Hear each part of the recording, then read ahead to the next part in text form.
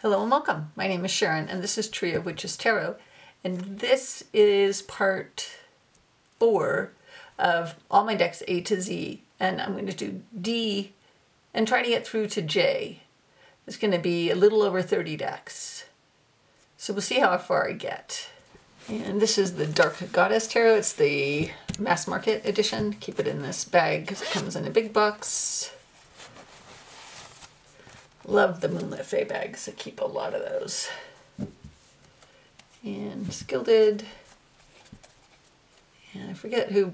Is it Schiffer? This feels like Schiffer cardstock. Red Feather Schiffer, yeah. It's not the worst cardstock. It's bendy. I don't think you can ruffle shuffle this.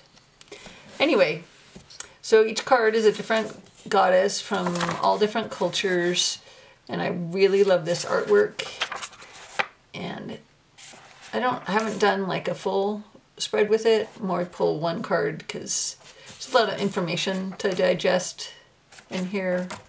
So try to learn these different goddesses. Yeah, I love this artwork. So um, Ellen Lorenzi Prince has a Greek goddess tarot out now that you can get the indie version of. That will be in an upcoming video.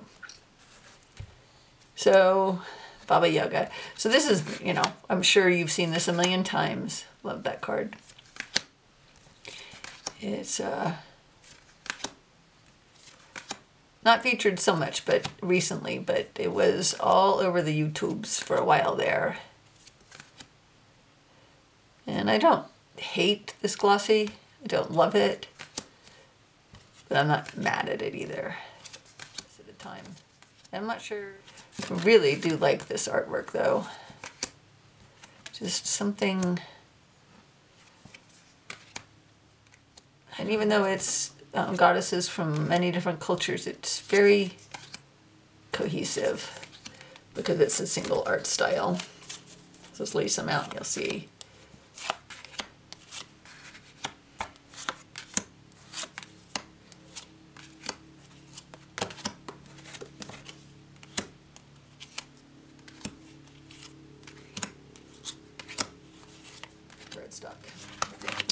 Anyway,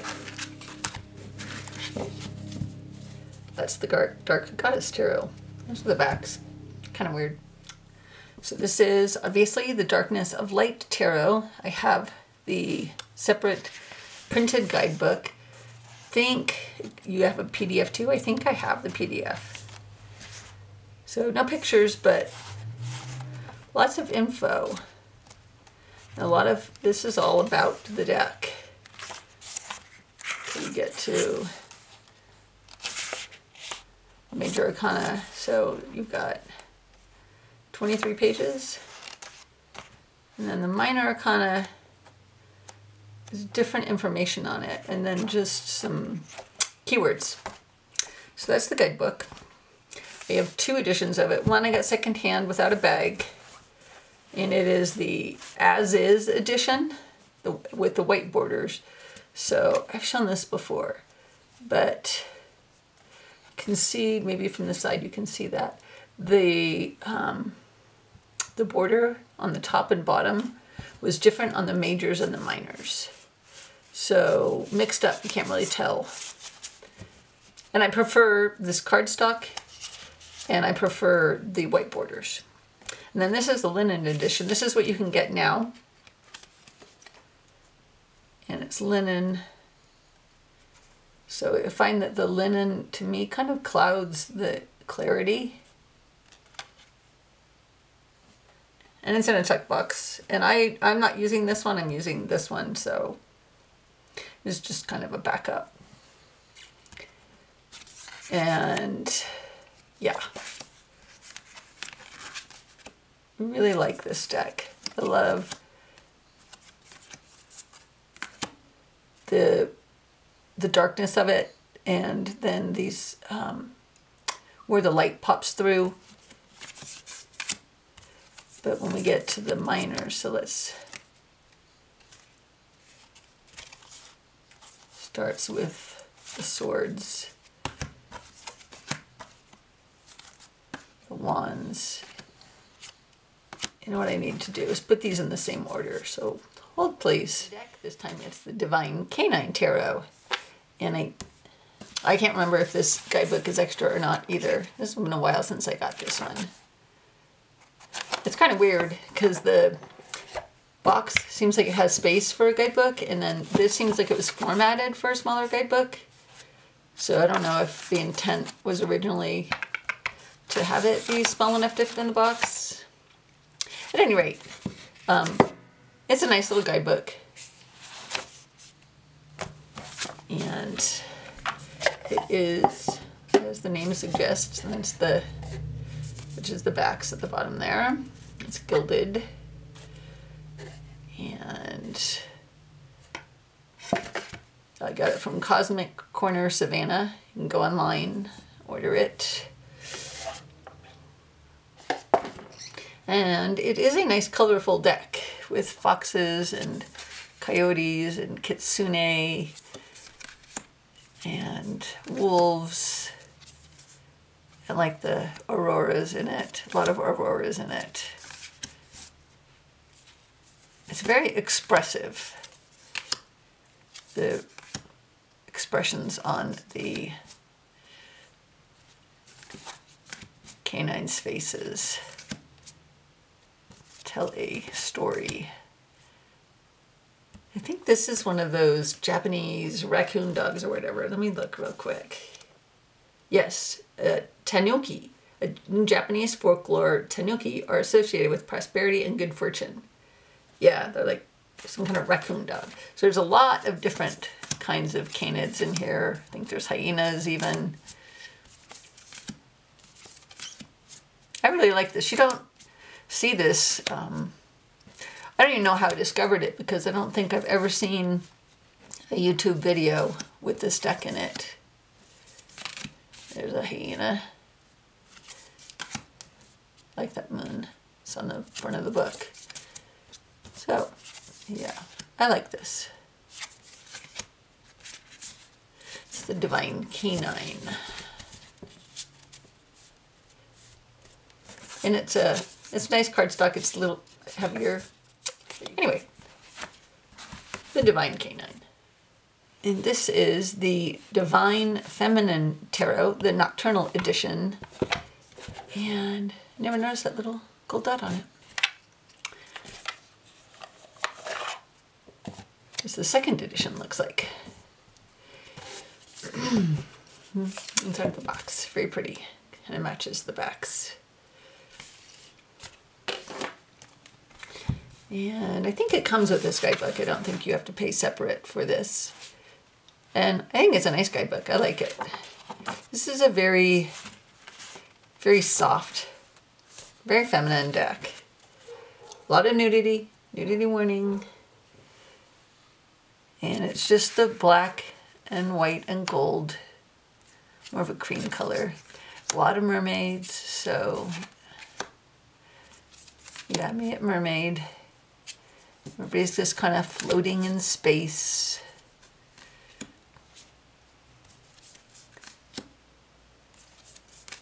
And everybody's thin, not crazy thin, but thin.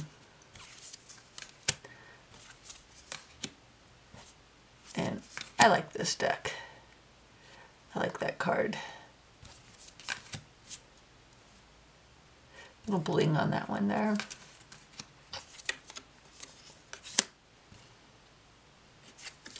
And there's only one or two figures in each card, I think. It's nice. That almost reminds me of Strength. And it's nice cardstock. It's a little thin for me, but it um, it's very shuffleable.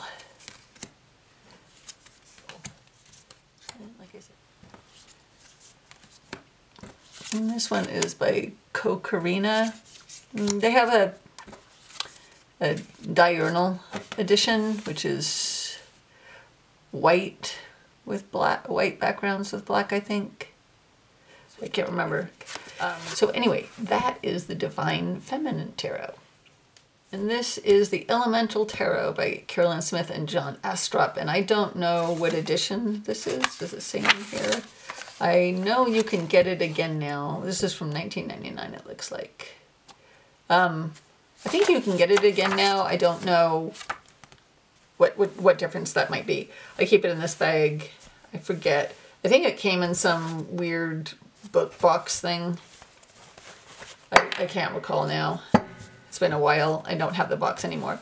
And I trimmed mine as one of the first it was on really it is on really really thin cardstock. I mean this is super thin still. And i um, before i had my laminator i just used clear contact paper and it is on the front and the back.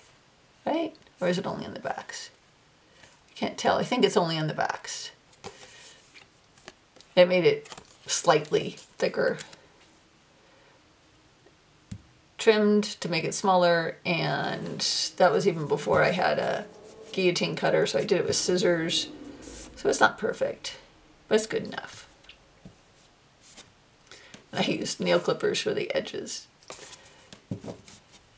Anyway so it's a little bit different than your average tarot. It has good information for each card. Not a ton but enough. And it's a fun little deck. I love Carolyn's, Carolyn Astrop's artwork. I have many decks with her artwork. So let's have a look. So we have, so this is, these are earth, the green ones. And then we have fire, and then fire, the red, and then the majors are blue, and they have this oval. And the numbers remain the same. And then they have these little sayings on them and a keyword. And interestingly, so like this one is justice, but then has peace up here. This one's death and it has transformation. I don't know confused now on why sometimes it's the name we know on the top, sometimes on the bottom. I don't know. It's a, it's a, it's a different deck. It takes getting used to.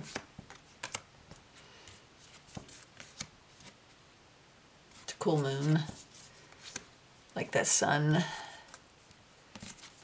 Judgment. And then we have the Aeon. We have daughter, son, mother and father.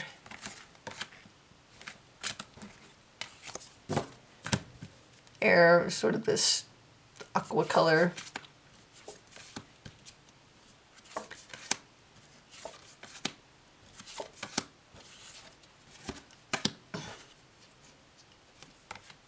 And then we have water. I like the water suit in this. Sort of this lilac color. I like the way that Carolyn Astrop does water in her decks, sort of that curly, flowy look.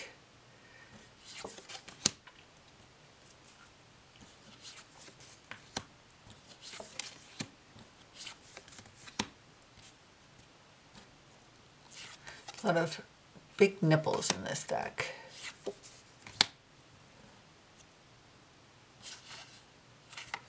So that's the, instead of the high priestess, we have virgin and receptivity. Interesting. If you're trying to learn RWS Tarot, just not the deck. I don't even, it's its own thing. It's its own thing. It's the Elemental Tarot.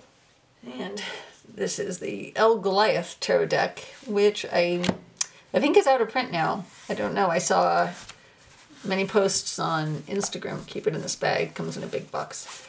Um, that if you wanted it, you should get it because you won't be producing it anymore or selling it anymore or something. So maybe OOP now. This is the second edition, so it's on the smaller cards and matte cardstock instead of glossy like the first edition was big, much bigger and very glossy.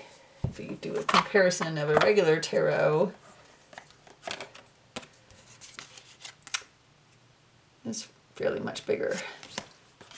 It's just black and white. It has extra oracle cards, so you have a yes and a no card, and then all of these. I'm not going to go through them all, but this is an amazing deck. This is like Marielle if it was an animal deck. And it is, the guidebook is so much information and it's very small print. So, and all of that is for one card. I need my reading glasses for sure. I think that this, though, is a bigger print than the first edition, at least what I've heard. That the first edition is even harder to read. But there is, yeah, there's a lot. So the thing that gets me the most in this is the, the quality of light in it, the way things just beam.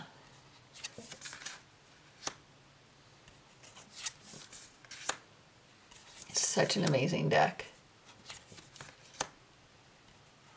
It pulls no punches. It's unapologetic. It's uh, kind of like the black and white cousin to the Brady Tarot. Look at that. Just glows. Look at that. It's an amazing deck. I will never let this go. And it comes edged in black, I believe. So, if you don't have it and you want it, I hope you can get it. Because this is one of my forever decks. So that's the El Goliath. And this is the Ellis Deck Tarot. It's the fifth edition black and white backs. I don't really know what the differences are between the editions. I'm pretty sure that there are differences. I just don't know what they are.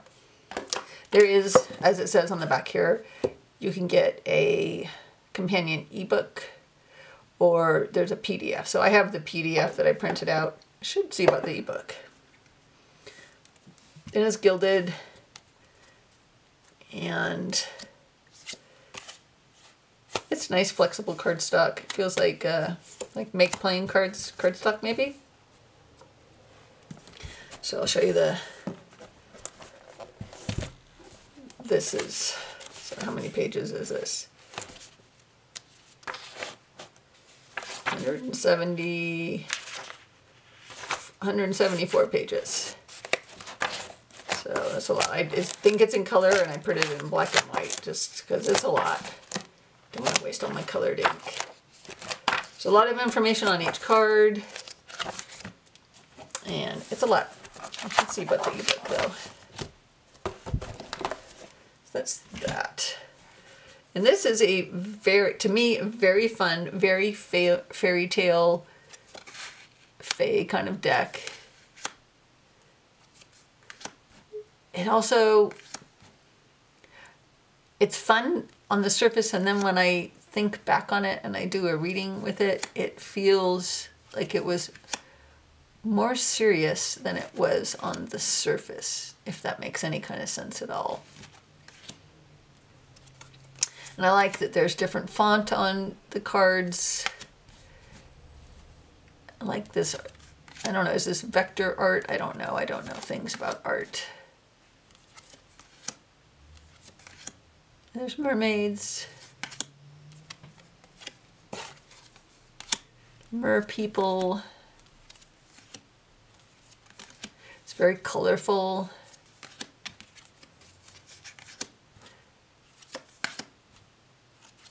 It, feels like uh, the less weird cousin of the uh, Raincoast Tarot because it's still weird, but it's less weird than Raincoast.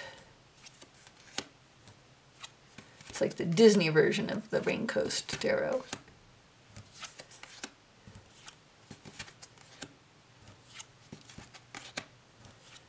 Yeah, I like this.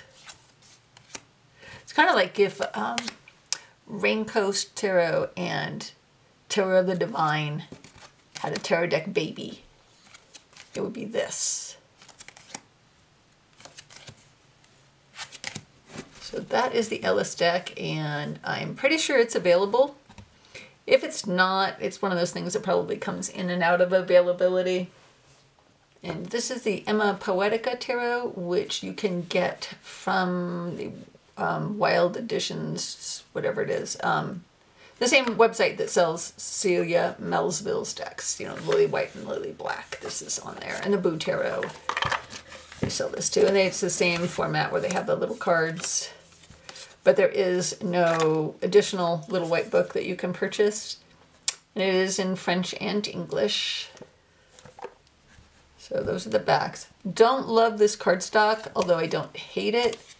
Just kind of, when you shuffle it, if you riffle shuffle it, it kind of holds whatever bend you put in it. So it's kind of like not fully straight. Kind of holds on to it. I think the Boo Tarot is this same cardstock, but for some reason my Boo Tarot is just like really bowed and wants to, no matter what I do, once I put it back in the box, it wants to bow up again. So this is a little bit, it's very pippish. And it feels like collage and then painted over collage. And a lot of it feels like kind of like that torn paper. It almost feels like, uh, yeah, see in this card, I think this card came bent like this.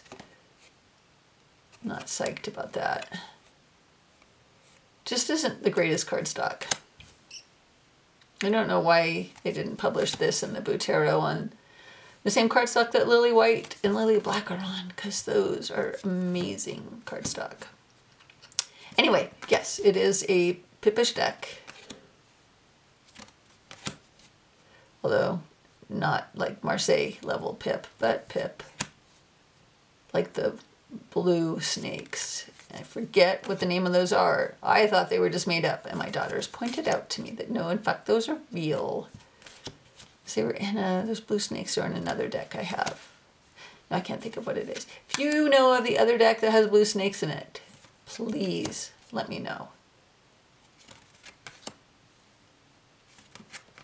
It is a very sweet deck. It's non-confrontational, just nice a nice tarot that doesn't yell at you. Sometimes you want to be yelled at, sometimes you don't. Like the foxes in it. So that is the Ema Poëtica Tarot. And this is the Ember and Aura Tarot, and I have the regular edition and the Awakening edition. And this is out of print now, and I don't think that Jamie Richardson is planning on printing this anymore. So this is totally OOP now. That's the Awakening. They come with a guidebook, which is essentially the same, little teeny thumbnails, and then this. It is um, unabashedly with a Christian bent on it. I believe that, yes, the deck was conceived during her stay at Sanctuary of the Rose and I believe that, yes, that she's Episcopalian. I don't, she may have turned her back on tarot entirely. I'm not really sure. I love this deck. I mean, tarot does have at its roots um, Christianity, a lot of it. So I'm not bothered by the sometimes very overt Christian symbolism portrayed in this deck. So the backs are different. And the gilding, both pink one is just one of my favorite death cards ever. So the font is also different. We'll do more of a side-by-side, -side, I guess. Okay, so there's death and death. So you see the difference there. It's the same image.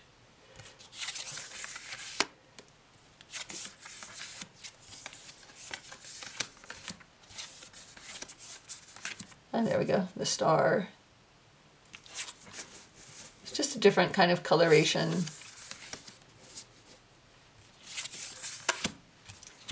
I really, really like this deck. This is one of my hug decks. And I will never let go of either of these copies of this deck.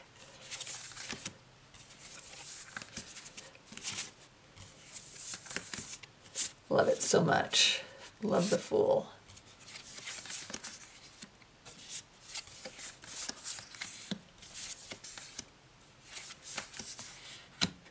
These are, I think the Awakening, it's more of a white background, or these are more framed.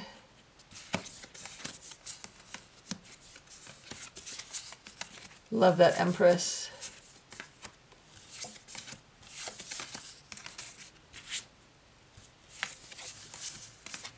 The Emperor. High Priest. I just love the deck. Really just love it. So, okay, so that is the Ember and Aura, the Awakening, and the regular edition. And this is the Enchanted Tarot. This is the 25th anniversary edition, which I found, I think, on eBay um, because it's, I think they're on the 30th anniversary or 35th anniversary edition now. But I liked the, I like this book. It's a very nice book. Um, and it comes with this bag. But I like the backs on this the best of any. Just love those backs. And I trimmed mine. So it is thinner and not quite as tall, but it's still very tall. So let's grab a regular tarot sized tarot card. So it's still wider and it is considerably taller and it was a lot taller and a lot wider. So I trimmed it down, preserved um, enough of the colored border that I still you still see it. And it was a frustrating exercise because the artwork is not centered on the cards perfectly and they are mis-centered, if that's a word, differently. Anyway, um, I had the mini, I gave it away in one of my giveaways. I just felt like it was um, too small to really see all the detail. And I have big hands, so I don't really, minis I sort of fumble around because they're like a little small for me. But this is a, it's been around for a long time, obviously, if this is the 25th anniversary edition, and this was in, to, where is the year? It was originally published in the United States in 1990. So that's how old it is. And you can get this um, I mean, many different editions of this. You can get it on Amazon or Book Depository, or you can go on eBay and find whatever edition you want. I just happen to like these backs. But I like them. So I sought out this edition. And it comes in a nice box. Just, um, again, I don't keep my decks in big boxes. I'd have no room to store them if I kept all the big boxes in my bookshelf like that. So that's the Enchanted Tarot. And this is the Everyday Enchantment Tarot by Poppy Palin, who sadly left us last year. And it is very modern. It's kind of like a an English um, light seers maybe? In that modern take on things people in their modern day lives. And there's a lot of info for each card in this book as well. And this is is this who publishes this? Schiffer also. And it comes in a big box so I keep the cards in this bag. I've trimmed mine. I may edge it. I just haven't figured out how I want to edge it yet so the borders were much bigger and the each suit is color coded and so the, the cards were so big that I couldn't even overhand it. Now I I have giant hands, and now I can at least overhand it. At any rate, um, this is we have blades for swords, coins, and then the major arcana are black borders, wands, more blades.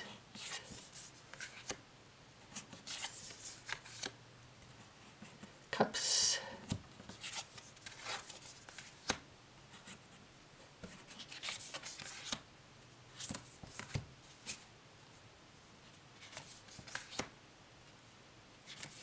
And then there are sprinkled throughout fairies. So there's magic. Magic in the everyday. Just what I like about it. And I'm not British, and I don't think you need to be British to get it all. I imagine there's nuances that are lost on us across the pond.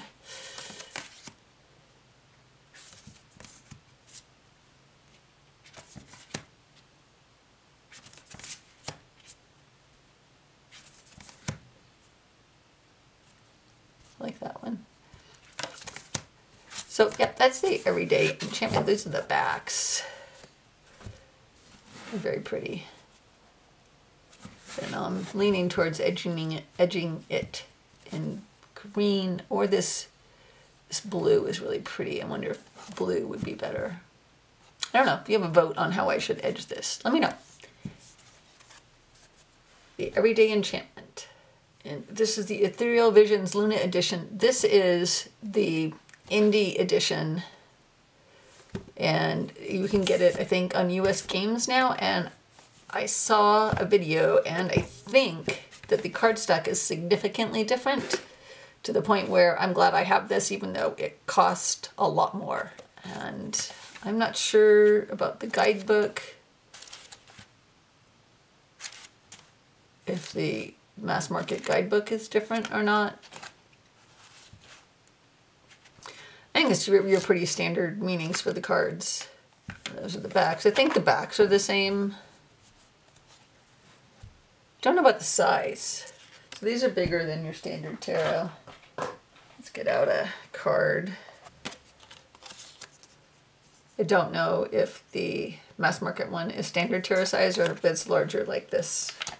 I'd have to go back and rewatch. I think uh, I will share a link to her video. Mixtress Rae did kind of a, she called it a spicy, it was a little bit of a takedown on this deck. And can't uh, entirely disagree with a lot of the things she said. Um, it's gilded. Can't remember if the mass market one was gilded. This is thin cardstock. It's nice and flexible. I, I'm not mad at it. I don't hate it. And this is with this kind of silver holographic.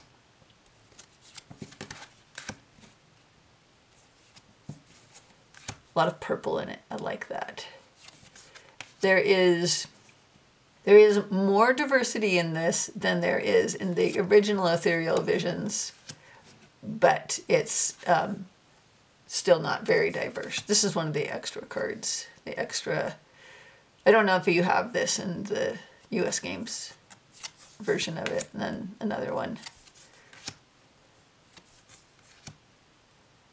So there's different, there's some darker skin tones, some different facial features, but there isn't a whole lot of age diversity and not a whole lot of body diversity.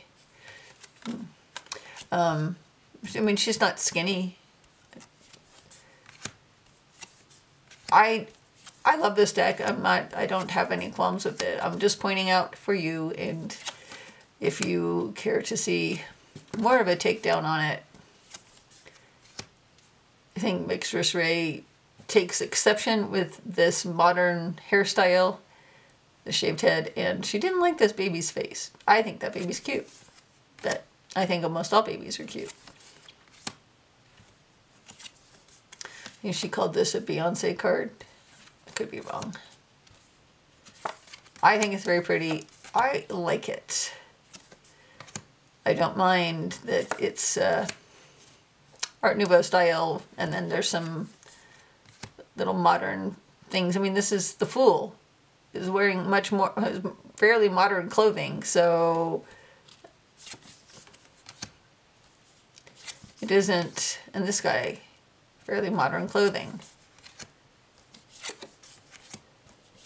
It isn't sticking altogether to the time period. This High Priestess is the same, I think she's on the cover of the other Ethereal Visions, but it's gold instead of silver. I don't know. I don't have the other. I wanted this one. I didn't. I don't have the other one, so I can't do like a side by side for you. And compare. Trying to find the world card.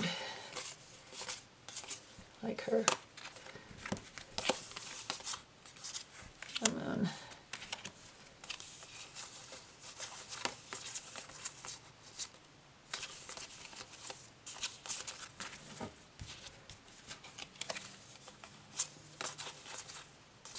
It's interesting.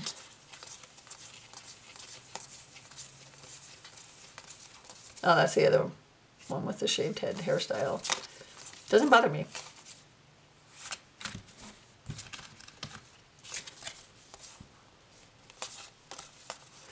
Oh, here's the Beyonce card. There we go. Okay, found the world card. I love her. So anyway, this is the Ethereal Visions Luna edition. Okay, so that is my D and E decks. I only made it to E. I thought I would get further. It's a lot of work making these videos. Anyway, I hope you enjoyed that. And if you have any comments, please leave them below. Remember to like and subscribe and click on the bell so you know I have new videos. Stay tuned for the giveaway that will be going on until I am done producing all of my A to Z videos. Thanks for watching. Take care of yourself. Bye. Okay, so I've decided to do a giveaway for the length of all of my decks A to Z videos. So whenever I am done doing all of those videos, this giveaway will end. And it's for the Dreaming Way Tarot it's a mass, mar mass market deck, and you've probably seen this before. Not going to do a full flip through. It's a very nice deck, just isn't one that I use, so I've decided to give it away.